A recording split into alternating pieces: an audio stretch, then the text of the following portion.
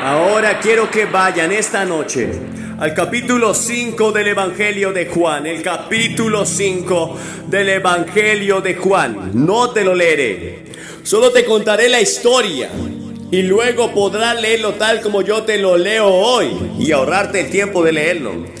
Jesús iba de un lado al otro en todo el país y estaba predicando y enseñando.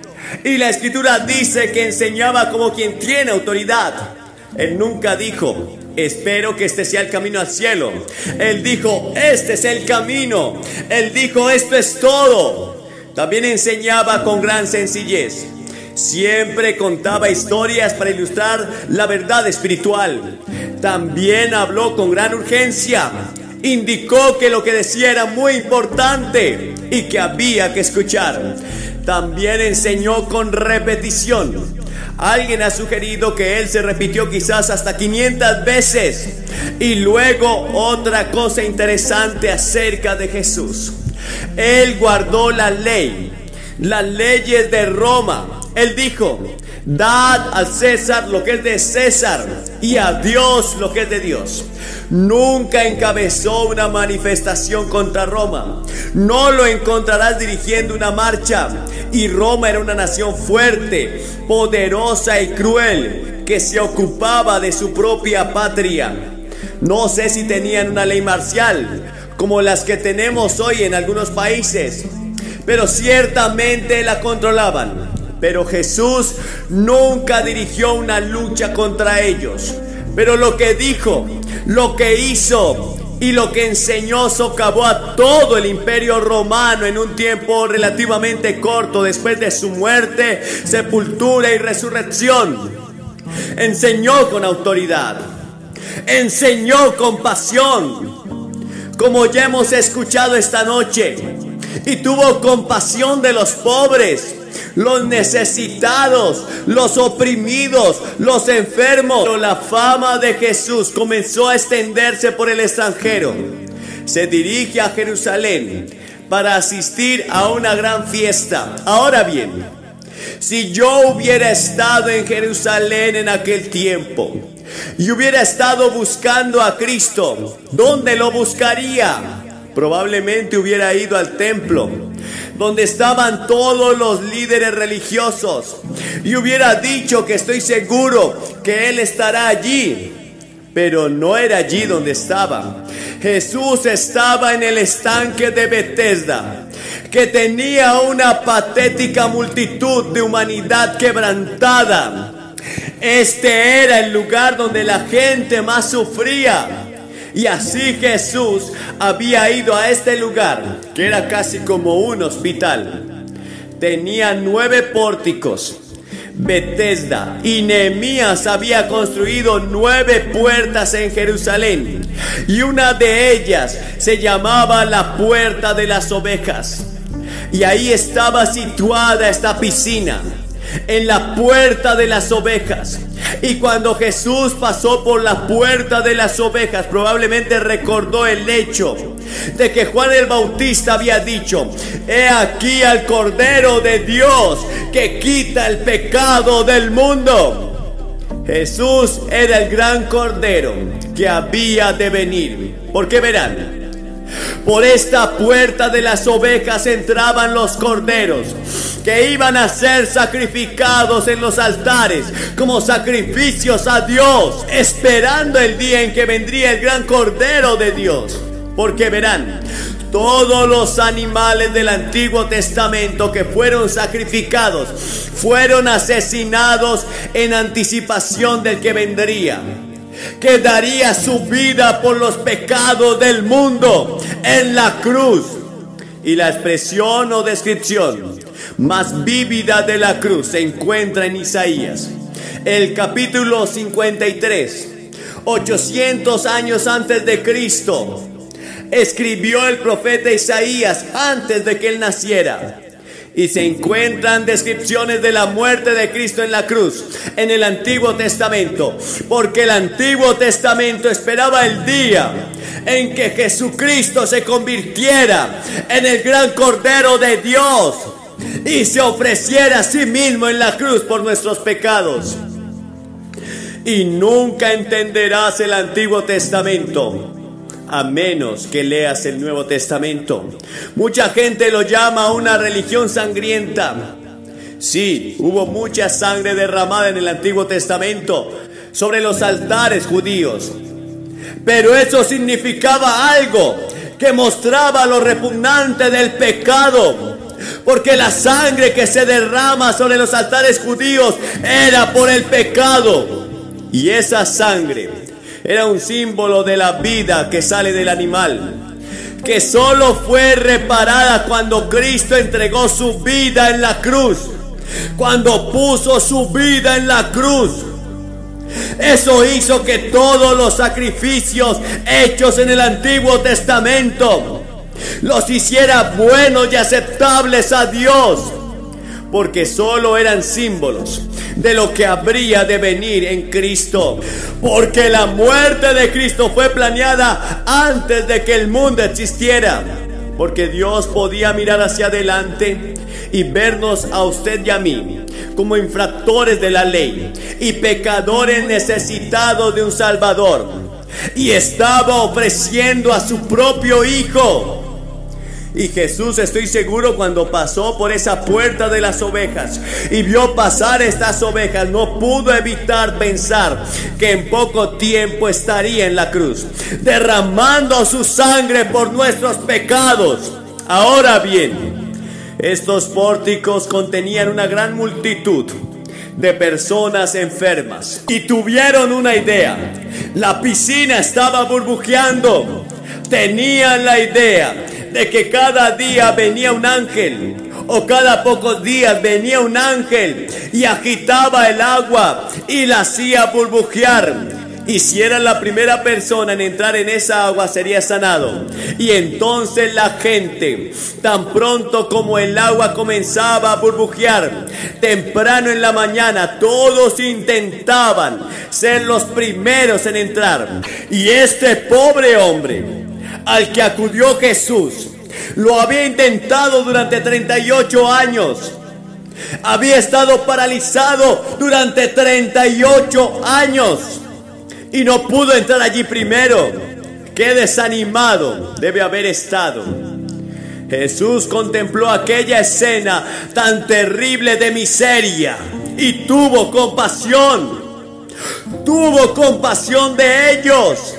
Él ve a los lisiados morales y espirituales y psicológicos y físicos. Y aquí esta noche, porque ven, hay personas aquí esta noche físicamente bien, pero espiritualmente ustedes están lisiados. No tienes paz con Dios. No tienes seguridad en tu corazón de que tus pecados son perdonados. No sabes que tienes vida eterna no estás seguro de ello.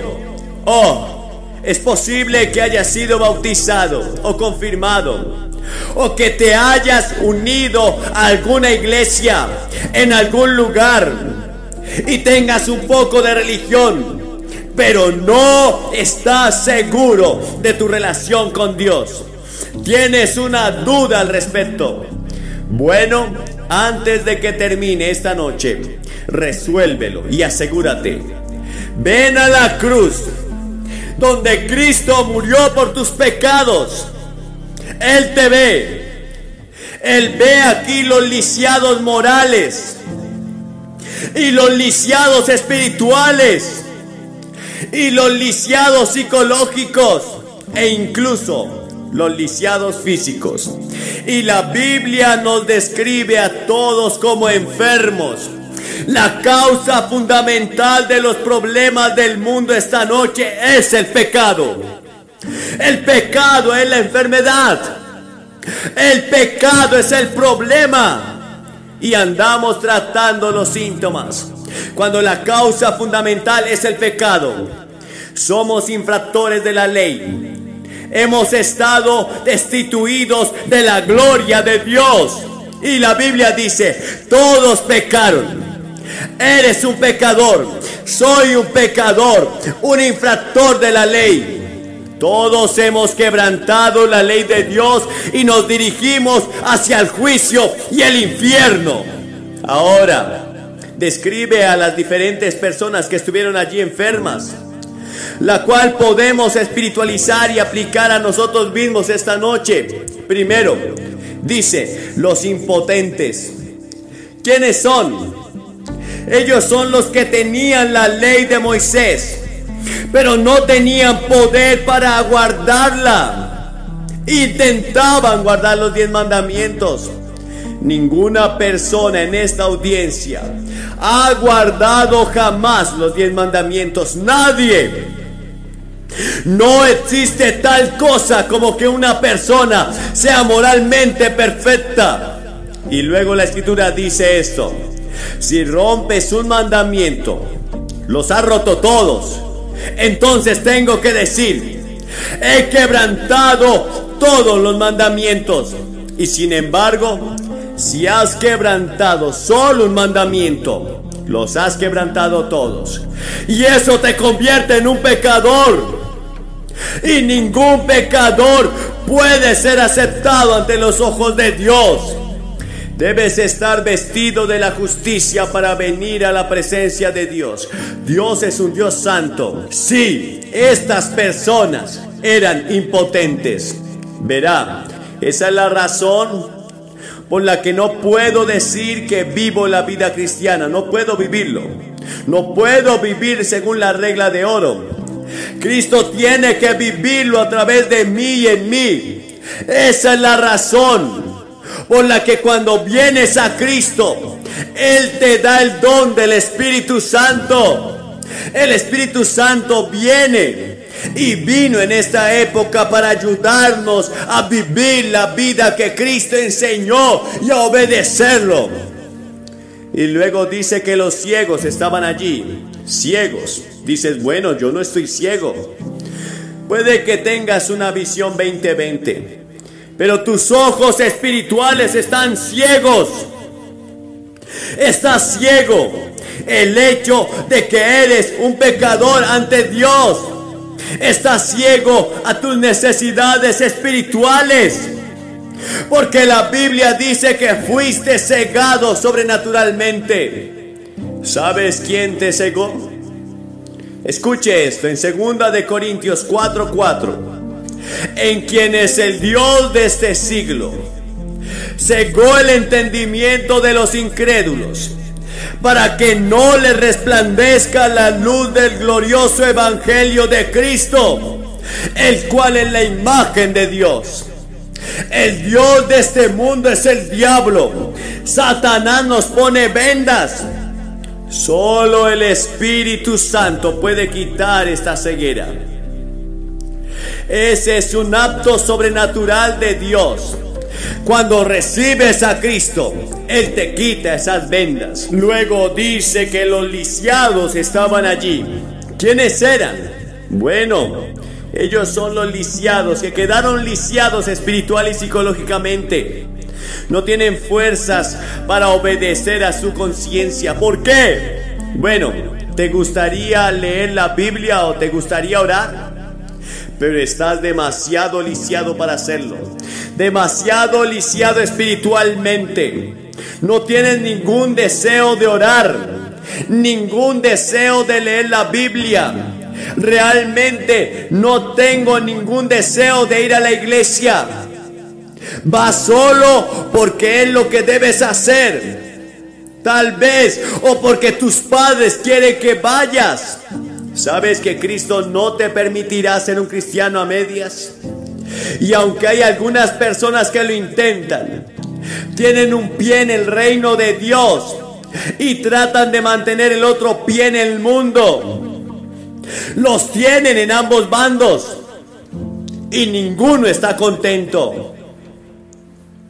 Pasa de un lado al otro. Haz todo lo posible por Cristo. Y luego dijo que los marchitos están allí. ¿Quiénes son? Tenían las manos secas. Nuestras voluntades han sido paralizadas por el pecado. Verán, la Biblia enseña que hay tres hombrecitos viviendo dentro de nosotros. Está el intelecto, la emoción y la voluntad. Ahora bien, mediante la sabiduría, únicamente mediante el intelecto, no puedes venir a Cristo. Existe ese paso de fe. Timonti Duigi, quien fue presidente de Yale hasta finales del siglo pasado, el segundo Timonti Duigi, dijo que la verdad solo puede verse vagamente mediante el intelecto. ¿Y cuánta razón tenía?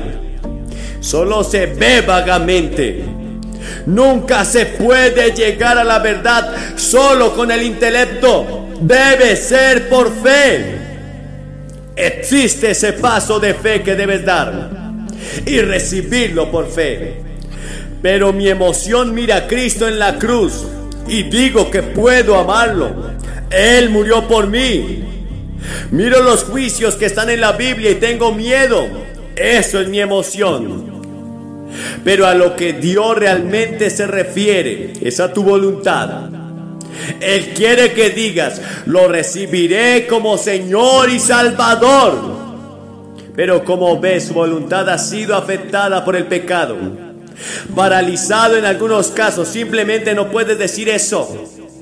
Cuando usted se casó o cuando ya me casé hace varios años, el ministro dijo, ¿quiere que esta mujer sea su esposa legalmente casada?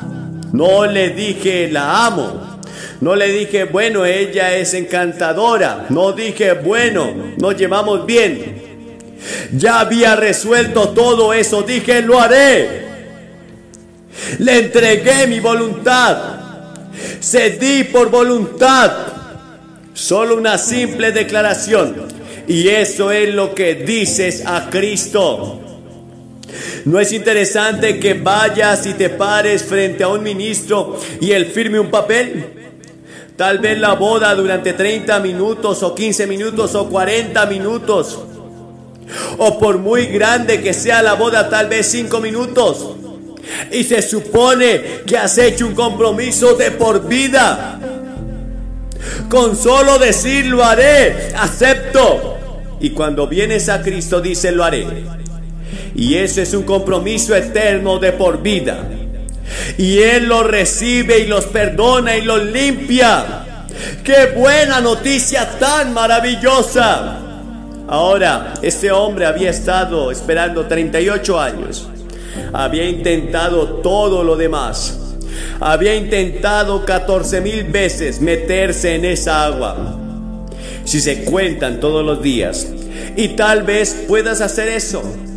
Pero ahora estaba desesperado, indefenso, tirado en ese jergón, lisiado. No hay amigos que lo ayuden a entrar en el agua primero. Y Jesús se acercó a él y fue hacia él probablemente porque era el peor caso que había allí, y dijo, ¿quieres ser sanado? Y quiero preguntarte esta noche, ¿quieres sanidad espiritual esta noche? ¿Quieres que tus pecados sean perdonados? Si lo haces, tú que estás mirando por televisión, toma el teléfono y llama a ese número que aparece en pantalla ahora mismo. Y si no lo recibes inmediatamente, sigue llamando y habla con alguien sobre tu necesidad esta noche y resuélvelo por teléfono. Y ustedes que están aquí en esta gran audiencia, pueden resolverlo esta misma noche, en este mismo momento, diciendo sí a Jesucristo. Pero usted sabe que la pregunta que Jesús le está haciendo a este hombre es casi cruel. Todos los días lo había intentado, pero luego empiezas a pensar en ello. Después de todo, no fue tan cruel. ¿Realmente quieres a Cristo en tu vida? ¿Tú? ¿Realmente quieres el encuentro en tu corazón? ¿Estás realmente listo para cumplir con sus demandas y entregarle todo a Él y convertirlo en tu Señor? No es fácil significa que tendrás que abandonar algunas de las cosas que has estado haciendo mal. Significa que tendrá que hacer nuevas actitudes en su vida. Significa que Él se convierte en el Señor de todas tus decisiones. Él te ayuda a tomar la decisión sobre el matrimonio. Él te ayuda a tomar la decisión sobre el matrimonio.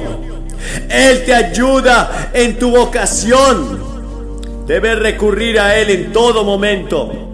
Y la Biblia dice que debes orar y testificar y entrar en la iglesia. Significa que toda tu vida está entregada totalmente al Señor como tu Salvador y Señor realmente. ¿De verdad quieres eso? Jesús le dijo a este hombre, ¿de verdad quieres ser sanado? ¿Tú?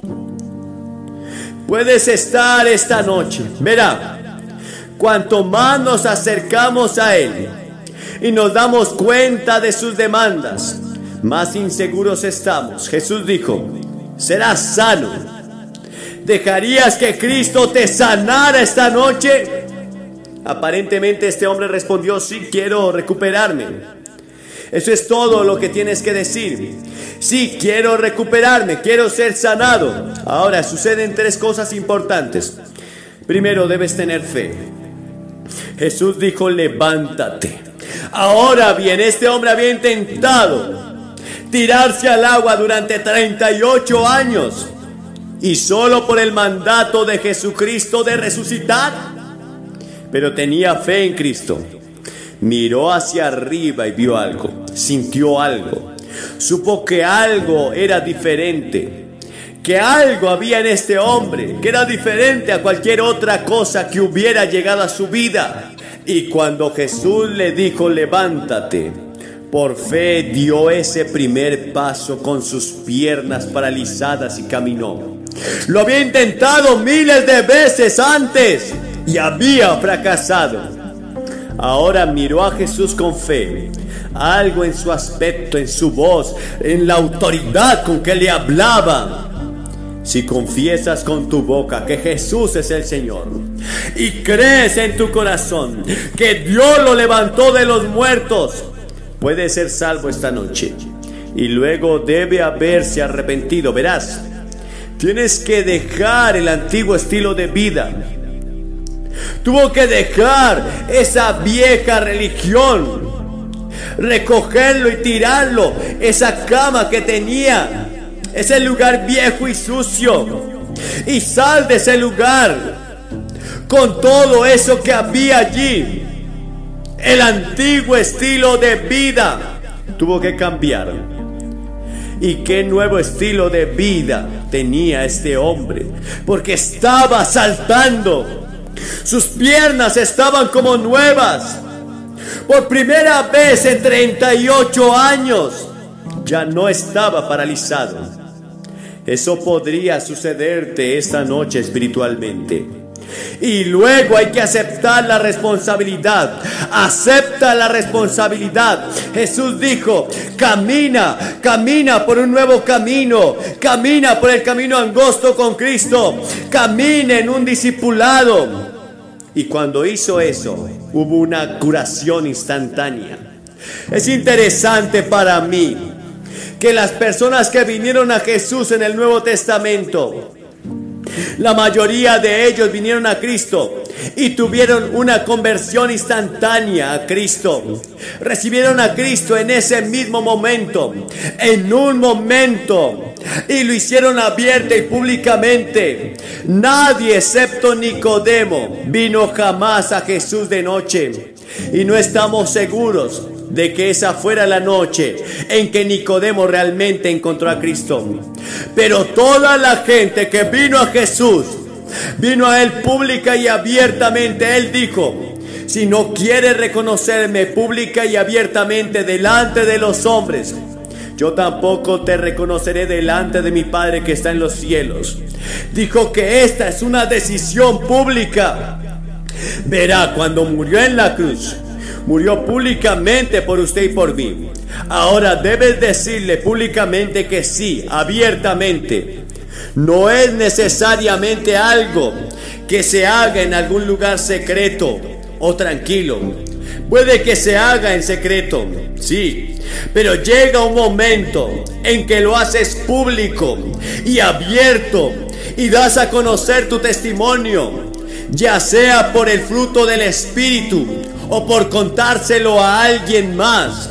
Y Jesús dijo algo muy interesante en el versículo 14 de este pasaje. Jesús lo encontró más tarde en el templo y Jesús le dijo algo que quiero que ustedes recuerden siempre. Él dijo, vete y no peques más. No sea que te suceda algo peor. ¿Qué podría ser peor que 38 años de ser paralítico? Jesús le estaba enseñando a este hombre algo sobre el juicio y algo sobre el infierno, que aún está por venir. Si seguimos por el camino que vamos, el camino angosto, dijo, ese conduce a la vida eterna. Sí, debes hacer algo. Jesús le dijo a este hombre que hiciera algo, levántate y camina.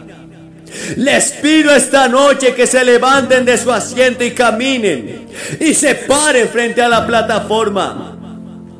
Como hemos visto hacer a miles de personas en toda Nueva Inglaterra y decir al venir simbólicamente, quiero una vida nueva.